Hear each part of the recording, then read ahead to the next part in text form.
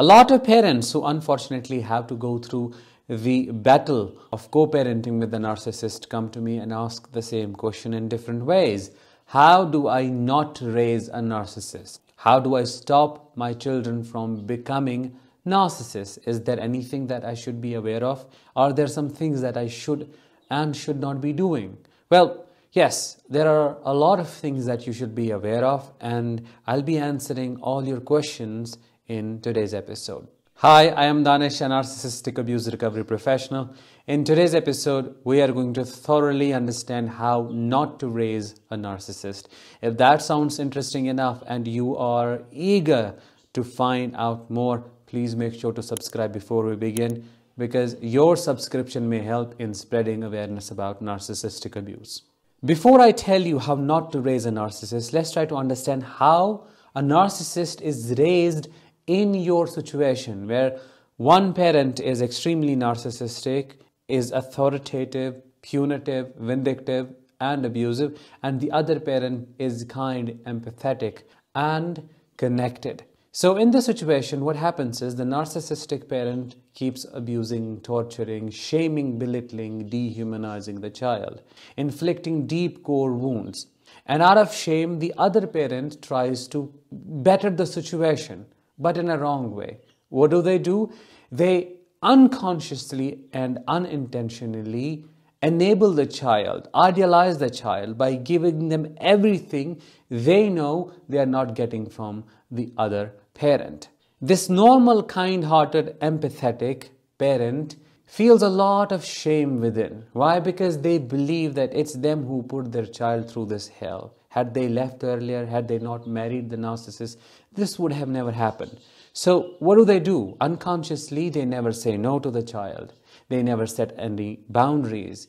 They do not help the child process their dysregulated emotions in the right way. They're always trying to make them feel happy, trying to make them feel better in whatever time they get to spend with them. And that creates a sort of distraction, a form of dissociation, which is what a narcissist experiences. The traumatized parent remains in a constant state of survival, always trying to fight the situation, but unfortunately and unknowingly in the wrong way. Always trying to fix the situation by suppressing the shame, by distracting the child from feeling it, or by not properly guiding the child to address the situation in a healthy way. What does this do? It creates an imbalance.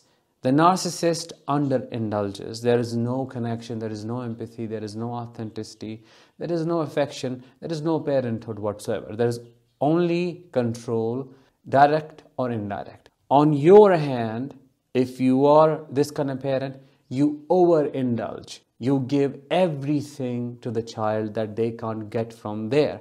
So this disorients the child in, internally. As time passes, you become the doormat of this child. The child takes out that anger on you in unhealthy ways, and because of your own guilt, you're not able to say no, or you don't try to put a stop to it. You can't have boundaries because you're afraid if you have any boundaries, you are going to hurt the child further, or you are going to lose them they will leave you and they'll go to the narcissist.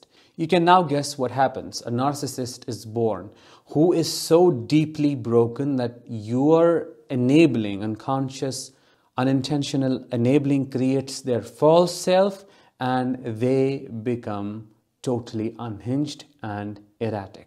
One thing I should make very clear I'm not blaming you in any way, of course not. I'm trying to help you understand what could go wrong and what trauma does to you and to the child, and how you can make it right. Back to the topic. So, this adult child then totally destroys the non narcissistic parent because they have been programmed that way. Unfortunately, there was no boundary ever, no proper healthy disciplining, no attunement, no connection. The parent was stuck in their own trauma, disconnected, trying to fix the situation, while the narcissist was always trying to counter parent and destroy the situation. Now, let's understand how not to raise a narcissist, to what to do about this situation. First of all, do not avoid the truth, the reality. A lot of parents think, oh, by not addressing the situation, by not talking about uh, the emotions, by not going in deep, they'll be able to protect the child. Of course not. That is wrong at so many levels. You are the same parent, you are the dual parent who has to play the role of both parents. You are the father, you are the mother. So, unfortunately, it is a, it is a big responsibility, but it is yours. You have to address things as they are, meaning you have to help your children regulate their emotions you can't blindly enable them. You have to be aware of your own shame and guilt that you feel, and you can't let any of that come in your way. If you recognize there is underindulgence from that side, you have to indulge, but not overly. Meaning, you have to be warm, you have to be affectionate, you have to be healthy, but in the right way. You can't always give them the chocolate, the toffee, the video game, and this and that. No, you have to learn how to attune to them you have to regulate yourself emotionally so that you can help them regulate their own emotions. In fact, there is a principle, there is something that I follow that I have created ALVRE. It's an acronym, ALVRE, where A stands for attunement, L stands for listening, R stands for regulation, V stands for validation, and E stands for empowerment. If you were to follow this principle, what you would be doing is knowing how to attune with your child, sometimes physically, sit with them, look into their eyes if they're throwing a tantrum. Maybe it's not a tantrum, they don't feel safe, they don't, don't want to do something. It's not that they are being disobedient, they just don't know what to do with all the stress they feel. Of course, their nervous systems are overly sensitive because they are experiencing what no child should experience. Then listen actively, not to reply, but to listen properly. What is the root cause of the problem? You have to be the coach they can't get to have in their other parent. And then you have to validate their worries, no matter how irrational they seem and sound to you. Don't personalize them. Don't make them about yourself unconsciously. See it for what it is and listen to their worries. Whatever their worry is, validate their pain, validate their sadness, validate what they're telling you. For example, if such a child tells you, you know what, mommy or daddy does not love me. Why? Because so and so happens. There's a situation that supports this example. But the, the idea is child says, Mommy or daddy does not love me.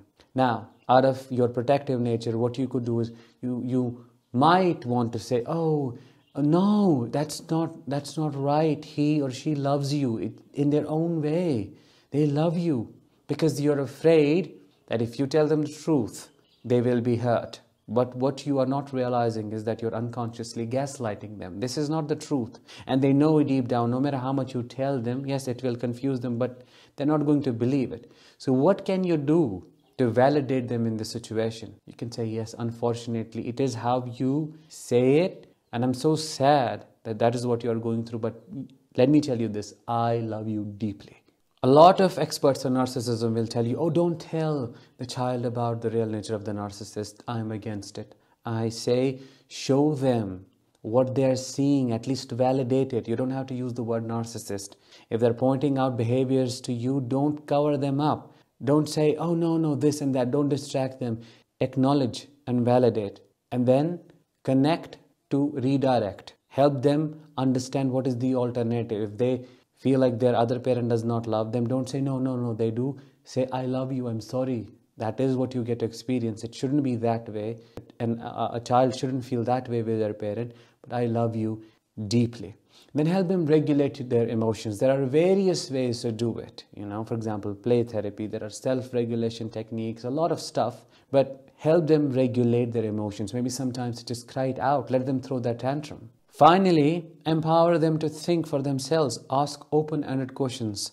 Questions like, if this happens again, what do you think you can say? Or what, what do you think you can do? Or what is the best thing to hold on to? It is not my fault because they will be made to believe it is their fault. So just, just program them the right way. If you want to learn about this principle in depth and detail, you may want to check my course out, my program Master Co-Parenting with the Narcissist, which just got an update and I released it yesterday. I am running a discount on it right now. If you want to enroll, you can click the I button above or the link in the description of this episode. Another thing that you would want to do is create safety for them. How? communicate conversations with them. Be communicative. Talk to them.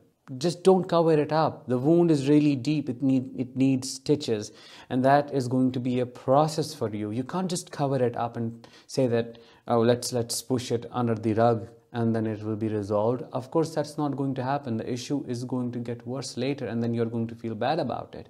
Communicate, talk about things, sit with them, play with them, spend time with them. Most importantly, help them feel safe around you, but at the same time, discipline them properly. Say no. When they throw a tantrum, hold space, but at the same time, show them what it is like to process anger in a healthy way. They can't go around hurting people or destroying things. Children are more uh, intelligent than adults. They don't believe in what you say, show them. If you yourself are reactive and you are struggling a lot, that is going to traumatize them. We call that vicarious traumatization. Show them, set examples. Whatever you teach them, show them exactly. Don't tell them, for example, they don't want to brush their teeth in the evening before going to bed. Now, you can force them, that's not going to work, they'll hate you for it. Show them why. What is your intention? You don't want their teeth to go bad. So what can you do? Show them a video, for example, and show them exactly what happens if you don't clean your teeth. Then later, the outcome is painful tooth extraction. So they will understand why. What is your point? And then you will see a big breakthrough. They'll follow through. All in all, I can say don't be an unconscious parent, be a heart centered parent. Be connected with your own body, with your own impulses. Understand your child's behavior. Learn about parenting. It's one of the most difficult jobs to do, let alone parenting with a narcissist. That makes it even more complicated. And if you want to learn in depth exactly what to do and what not to do, and what to say, everything I have covered it in my program, Master Co Parenting with a Narcissist, that I released yesterday. You can enroll right now by clicking the I button above or link in the description of this episode. Trust yourself. Don't be afraid of hurting the child. Don't be an anxious parent. That makes it really difficult for the child to navigate the world. Be centered in your truth. Be grounded in your truth. Show them the truth when it when they bring it to you. Don't cover it up. Reprogram their brain. Notice what they're believing about themselves because of how the narcissist is treating them and just extract those beliefs and replace them with positive ones. For example, I am worthless. Put in, you are worthy, you're beautiful, you're acceptable. Keep reprogramming. This is one of the biggest projects you will ever, ever do. So put in everything that you can put in. With that, let's bring this episode to an end. Thank you so much for tuning in. I hope you enjoyed this one. I'll talk to you in the next one. Until then, as always, let the healing begin and continue.